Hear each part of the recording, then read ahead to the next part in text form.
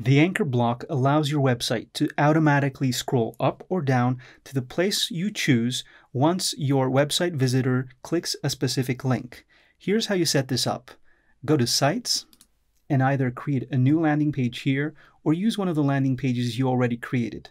I'm going to use this landing page here because it has a lot of anchor blocks already set up.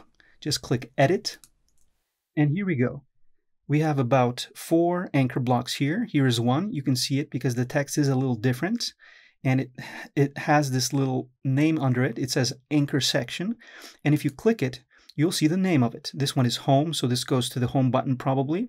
You can have different names here and different names for the, the link, but it's easier to remember once you use the same name.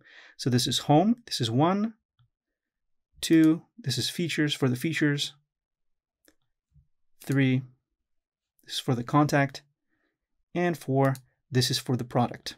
So what happens is when someone clicks one of these menu items, they will be linked to these anchor blocks.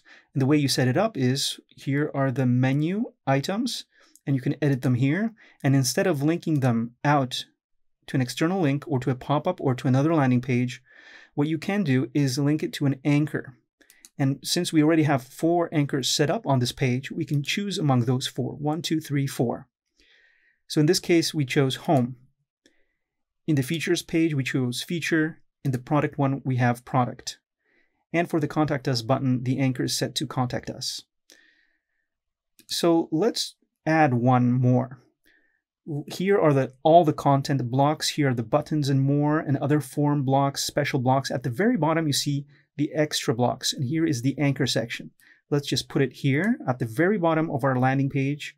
And let's name it end or bottom. Okay, save.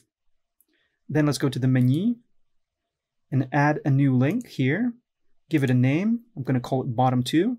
And instead of linking it to an external site, I'm going to click anchor and choose the bottom anchor. Of course, this is probably not something you would do on your site, but this is just a demo. So let's click save. And now let's go to the preview section. And here we go. So when your subscribers click home, they'll be at the top, features, they'll go to the features, products, and bottom will take them all the way to the bottom, and of course the contact button to the contact section. Now if you use this preview link here, you'll see the whole site without this part, and that will be probably better for you to see how easily your website visitors can move up and down the page.